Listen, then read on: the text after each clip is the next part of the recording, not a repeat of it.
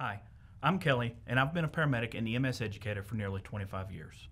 Over the years, I have both taught and been taught to look for a medic alert bracelet while assessing patients, especially those with an altered mental status. It sounds simple, but there's more to it than that, as you will see here.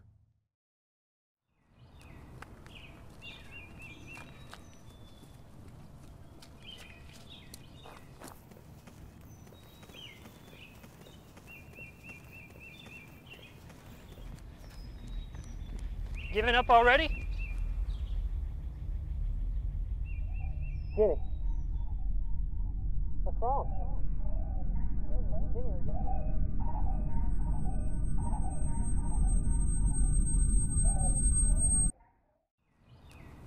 Twelve oh two medic six. Medic 6, go ahead. Twelve oh two on the scene. Thirty year old female. Active seizures. Unknown medical history. Approximately a quarter mile from the parking lot on a running trail.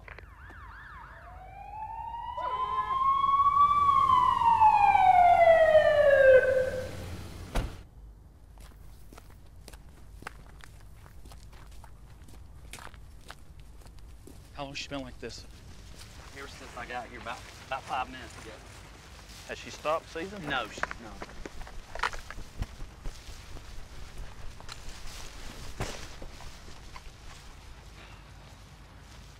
Does she have a medical alert ID? Just a paracord bracelet. Okay. Is she allergic to anything? He said he doesn't know. All right, we're gonna need some Versed.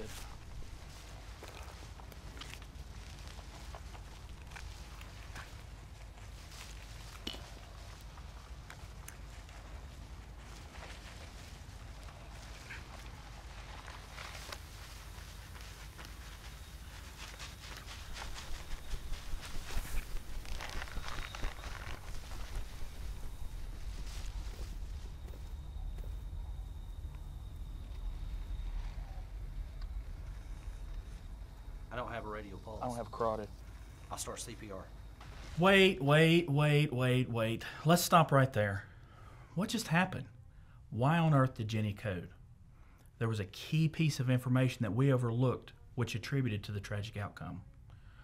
Jenny was wearing a MedicAlert ID that we overlooked, not because we didn't look for it, but because we didn't know what we were looking for.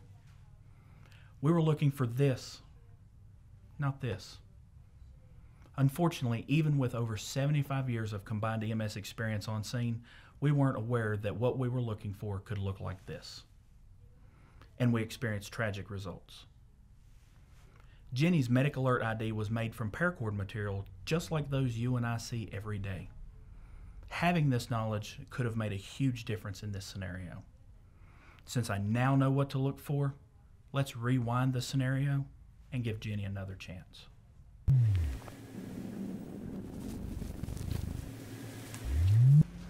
Does she have a medical alert ID? Just a paracord bracelet. Double check that. Some medical alerts look like that. Yeah, there's a number on. I'll go ahead and call. MedicAlert Emergency and Safe Return Center. This is Patricia. Uh, yes, this is Benjamin Lunsford with Creekside Fire Rescue. We have uh, about a 30 year old female here actively seizing on a trail, and she has a MedicAlert bracelet. All right. May I have the identification number at the bottom of the tag, please? Okay, USW 2 RVVHH94. Okay. The patient's name is Jennifer Smith. She has a history of seizures, and she is also severely allergic to Versed. Okay, hold on a moment. Hey guys, she's allergic to Versed. We need a line. The scenario we just watched was written specifically for this video.